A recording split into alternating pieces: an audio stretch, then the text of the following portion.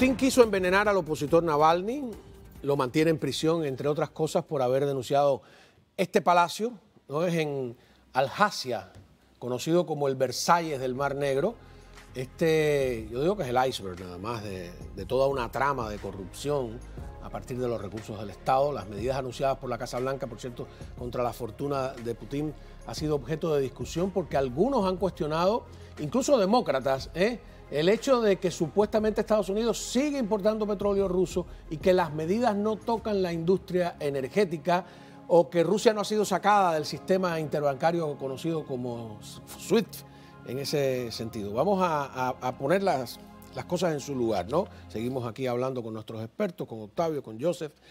Eh, ¿Son efectivas o no las medidas? Me llama la atención que hay un bloque demócrata que le ha dicho al presidente, Mira, oiga, esto... Las, medid las medidas para que den resultado tienen que ser un paquete completo.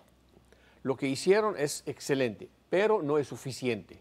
Entonces falta el SWIFT y falta el petróleo. El petróleo es la el único ingreso ahora de Putin.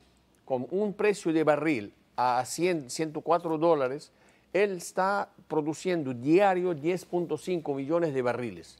A este precio se está enriqueciendo 300 millones de dólares al día, más de lo que estaba en diciembre.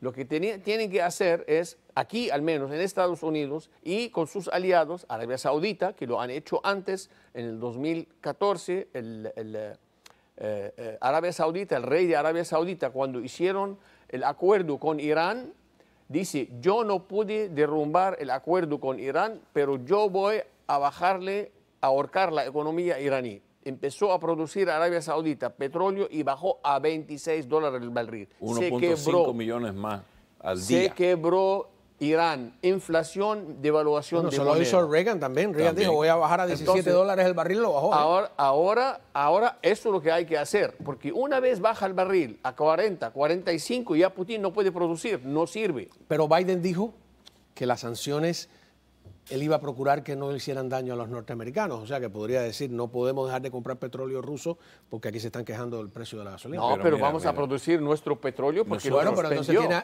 tiene tiene todo, el, contra. tiene todo el lobby ecologista que lo está presionando. Ah, bueno, pero pero pero bueno. ahí es donde está el error de haber cerrado Claro. el, el oleoducto que venía de que por cierto, por cierto, hablando con Jorge Piñón el otro día, los canadienses están planificando en el Ártico un gasoducto hacia China. O sea que nuestros hermanitos canadienses también tienen algo Bueno, la también manga. dice si no quiere, si no, Si no quieren comprar el, Pues el- buscamos el- otro cliente. buscamos Claro, otro sí, cliente. y eso la es la geo, es el nuevo mundo no, que estamos esta, viendo. es, esta es la bofetada más grande que dio el presidente a la economía estadounidense, suspender el, el- el- el oleoducto de, de Canadá y eh, restricciones a la producción nacional de el gas. fracking. Y eso ahí pudiera bajar inmediatamente Al el- precio. El, precio, porque no tenemos que comprarle ni una onza de petróleo a nadie. De Pero- todas maneras, eh, hay que decir la verdad. que está- ayer estábamos diciendo, bueno, ¿por qué no sanciona directamente a Putin? Aquí hay, eh, por lo menos ya hay dos más en su entorno, ¿no? Eh, bueno, que son Lavrov, nada más y nada menos. Es decir, que eso hay que aplaudirlo, pero No, no, claro, claro, hay que hacerlo, hay que hacerlo. Pero mira, todavía hay muchas cosas que se puede hacer. Las compañías de seguro, el presidente Trump, cuando hizo las, aumentó las sanciones a Irán, ¿qué, hizo?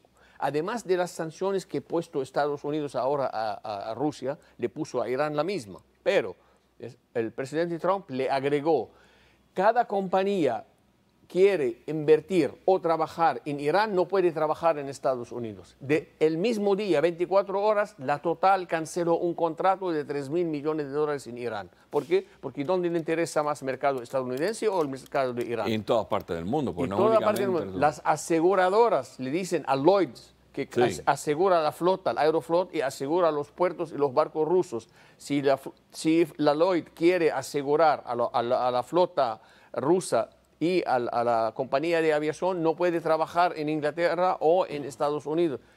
Lo paralizan. Y deberían sancionar a los regímenes que aquí en el hemisferio También. están También, apoyando. todo. porque También. la contradicción es que están pidiendo sanciones económicas para Rusia, los mismos que piden que se levante el embargo para. Cuba. Y Cuba es un cómplice porque es un aliado en, en las Y debe ser efectivo etcétera. inmediatamente que Aeroflot y ninguna de las líneas aéreas rusas pueden Eh, aterrizar en Cuba. Están acosando a la embajada de Ucrania en La Habana. Vamos a hablar dentro de unos minutos con el embajador eh, que está ahora mismo a cargo de la misión. La frivolidad. Vamos a ver este soldado ruso, que yo creo que es el colmo de la frivolidad, que se está tomando un selfie mientras a sus, a espaldas, graciosamente, los cohetes salen disparados hacia Ucrania sin ningún sentido. Podemos ir viendo las imágenes. Eh, por favor, a ver, ¿qué creen ustedes de esto? Este es el Katyusha y el Grad, los dos. Las Katiuskas, ¿no? Famosas. Katyuskas, ajá. M21 que tiene como 20, 20 misiles. Las que el régimen castrista 122. usó de manera criminal en Angola, que las bajó a ras de ¿Quién piso contra el las aldeas. ejército sirio lo usó 100 días, encerraron a Beirut, bombardeándola 24 horas al día por 100 días Sí. y no, se rendi- no nos rendimos. Usted me va a decir que eso es armas e- inteligentemente dirigidas. esto Eso es a donde caiga, por favor. De saturación. Eso es, Eso es artillería de Entonces, eso es un crimen de lesa humanidad. Claro. Eh, Le definitivamente. digan, le digan lo, que, lo que digan, ¿no? Y luego vamos a, a volver a imágenes que se quedaron an- anteriores, ¿no?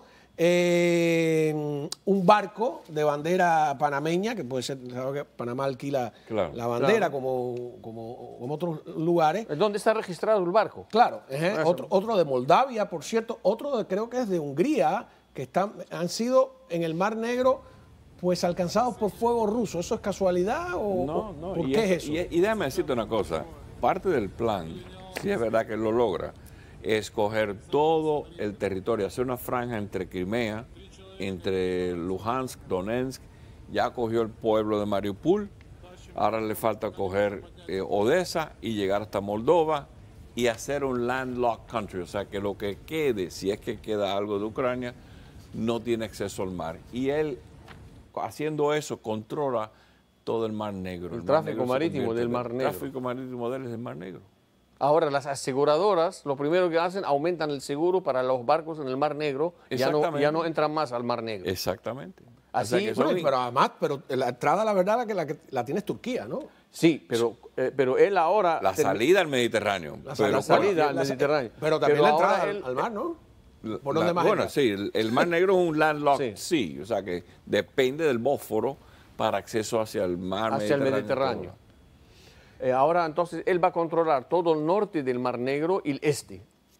Pero si va, si va a, tra- a- a atacar los barcos en el Mar Negro, entonces va a perjudicar a Rumanía. Esa es la única salida al mar que tiene. Claro, y eh, hay unas escenas del puente Antonovsky donde también ahí se ven los cadáveres, es una cosa Ahí terrible, se ¿no? inmoló un soldado preveniendo una columna de tanques. Ah. Él, él se, eh, eh, Sí, sí, puso sí, la, sí. la- la- la mina Sí. y no, no alcanzó. La, la hizo, sabía que iba a estallar mientras él la está instalando, pero paró toda la caravana de, de los Bueno, rusos. en el noticiero vi la imagen de un ciudadano común y corriente, súper valiente, tratando de parar una caravana de, de jeeps. Sí, sí. Eh, más o menos como la escena famosa de la plaza de Tiananmen, del, del chino que, se, que para eh, los tanques. Vamos a ir a una breve pausa. A la vuelta.